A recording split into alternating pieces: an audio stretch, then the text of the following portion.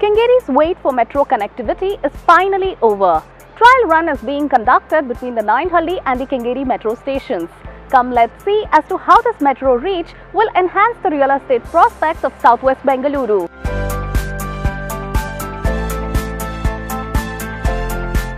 Hello, I'm Priyanka Rachaya. Welcome to today's episode of Property Matters.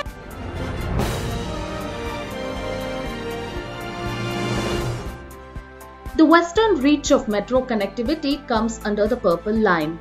This line will be extended till Kengeri very soon. While the total length of the metro route till Kengeri is 7.5 kilometers, it will be 8.81 kilometers till Challagatta.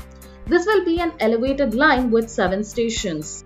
The 7 stations on the Nayandahalli Kengeri Purple Line are Nayandahalli, Rajarajeshwari Nagar, Jnanabharati, Pattanagere, Mailasandra, Kengeri Bus Terminal and Challagatta. While the Kengeri metro station will be operational from June 2021, the Challagatta metro station is expected to be ready by March 2022.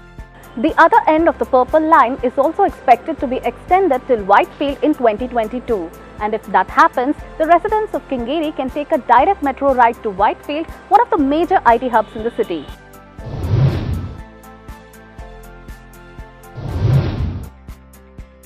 Kengeri is a major point of connectivity for people coming from Mysuru, Mandya, Maddur, Ramanagara, Bidadi and other towns situated out of the city. Many daily and weekend commuters take buses and trains from the Kengeri satellite bus stop and the Kengeri railway station respectively. A metro station in the same vicinity is expected to benefit many. Many upcoming localities like the Kempegowda layout and the Vishweshwaraya layout have direct road connectivity to Kengeri and a metro connectivity is further expected to enhance the demand for housing in these localities. This also holds good for many private layouts found in Ramohalli, Kumbilgodu and Bidadi.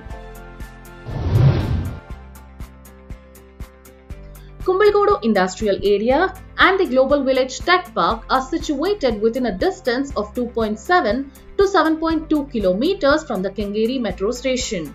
These job hubs, industries in Bidadi and many educational institutions on Mysore Road are expected to benefit from this metro line expansion. Travel time between Nayandahalli and Kengeri metro stations will be reduced to a mere 15 minutes. This line is expected to cater to the needs of as many as 75,000 daily commuters. And the metro connectivity is expected to enhance job prospects in and around Kengeri. This will increase the housing demand as well. Now, isn't that wonderful if you are a home buyer and looking forward to purchase a property somewhere nearby? Do like and share our video. Subscribe to MBTV for more such information pertaining to Bengaluru real estate. This is Priyanka Rachaya signing off with camera person Pragat. Please subscribe to Magicbricks on YouTube and press the bell icon to get new videos.